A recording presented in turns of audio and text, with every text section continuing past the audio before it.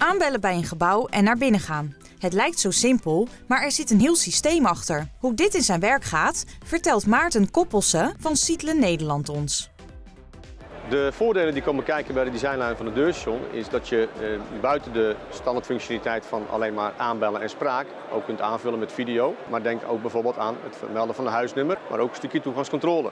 Dat kan zijn met een kaartlezer, dat kan zijn met een code, maar ook met de vingerafdruk.